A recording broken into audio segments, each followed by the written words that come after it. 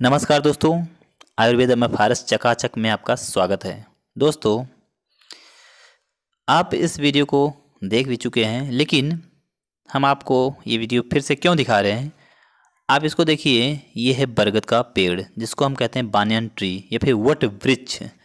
इसके बहुत सारे लाभ हैं, जिसको एक वीडियो में कवर करना बहुत ही ज़्यादा मुश्किल है, क्योंकि वीडियो ज़्यादा लंबी हो जाएगी तो आप लोग देखते देखते बोर हो जाएँगे। इसलिए हमने इसका दूसरा पार्ट बनाया है, जिसमें मैं आज आपको इसके बारे में बहुत ही अच्छा लाभ बताने चला हूँ, जो कि बहुत ज़्यादा हेल्पफुल है नौजवानों के लिए। दोस्तों, आप जानते हैं कि ये सेक्स पावर को बढ़ाता है, जिसको हम कह सकते हैं कि जो प्री मेच्योर एजैकुलेशन होता है, जिसको हम कहते हैं शीघ्र पतन, उसको ये दूर करता है। आजकल के युवाओं में यह बहुत ज़्यादा दिक्कत है कि वो शीघ्र पतन से परेशान रहते हैं, उनकी शादीशुदा लाइफ बेकार हो जाती है। दोस्तों मैं आपको नहीं चाहता हूँ कि आप इस समस्या से झेल और शर्मिंदा हो जाएँ, क्योंकि ऐसे में रिश्ते ख़राब हो जाते हैं और पत्नियाँ दूसरों के सहारे जीने लगती हैं। तो दोस्तों, आज हम जो नुस्खा इसमें बताएँगे वह बहुत ही कारगर होगा। और नुस्खा क्या है? ये बरगद का पेड़। बरगद के पेड़ के बहुत सारे फ़ायदे हैं। इसका जो जड़ है, उसका अलग उपयोग मिला जाता है। ये पत्ती देख रहे हैं आप? पत्ती का अलग यूज़ है। जो तना है, यानी छाल उसकी, उसके अलग यूज़ हैं। और जो बरगद की जटा है, जिसको हम दाढ़ी बोलते हैं, इसके बहुत ज़्यादा लाभ हैं। जिसका वीडियो मैं अपलोड कर चुका हूँ। जो पत्ती है, इसका भी वीडियो, मैं आपको पत्ती दिखा दे रहा हूँ।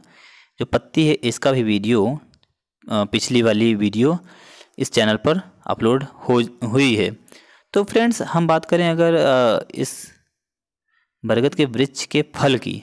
तो आज हम बात करेंगे इसके फल की।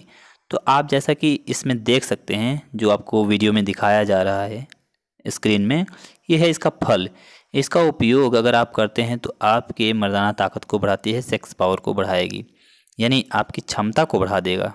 दोस्तों, कम से कम अगर आप इसका एक महीने तक इस्तेमाल करते हैं तो जो लोग देखते ही अस्खलित हो जाते हैं, जिन लोगों का वीर नहीं संभल पाता, एक या दो मिनट संभल पाता है, वो समझ लीजिए कि इसको यूज़ करेंगे अगर तीस दिन तक तो मैक्सिमम मैं आपको बता दूँ, तीस मिनट से पैंतालीस मिनट तक उनकी पावर हो जाएगी। हाँ लेकिन उसमें कुछ अनुभव भी चाहिए होता है, जो कि आपको धीरे धीरे बन जाएगा, लेकिन शुरुआती में आपको इतना मिल जाएगा टाइम दोस्तों, बहुत ही कमाल का नुस्खा है, ये यूजफुल है, आजमाया हुआ नुस्खा है। और हम लोग क्या करते हैं इस छोटी मोटी घास को जड़ी बूटी को देखकर इग्नोर कर देते हैं, सोचते हैं कि इसमें कुछ भी नहीं। नहीं, दोस्तों आयुर्वेद से ही एलोपैथ बना है। आप शायद भूल रहे हैं, आयुर्वेद में बहुत ज़्यादा ताकत होती है। तो दोस्तों, अगर आप इसके फल का, जो फल है, इसका चूर्ण बना लीजिए, सुखाकर छाया में इसका चूर्ण बना लीजिए। चूर्ण बनाने के बाद सुबह शाम एक एक चम्मच दूध के साथ खाएँ। तीस दिन तक बहुत ज़्यादा बड़ी बात नहीं, तीस दिन तक लीजिए इसके बाद देखिए फिर इसके परिणाम। यकीन मानिए, बहुत ज़्यादा अच्छे रिज़ल्ट मिलने वाले हैं आपको, आपकी बीवी आपसे खुश रहेगी। तो दोस्तों, उम्मीद करता हूँ ये नुस्खा आपको समझ में आ गया होगा और कैसे लेना है ये भी समझ में आ गया होगा। और अगर वीडियो समझ में आई हो, पसंद आई हो तो लाइक कर दीजिए, शेयर कर दीजिए और चैनल को सब्सक्राइब ज़रूर कर दीजिएगा। वीडियो को देखने के लिए और अंत तक बने रहने के लिए बहुत बहुत धन्यवाद।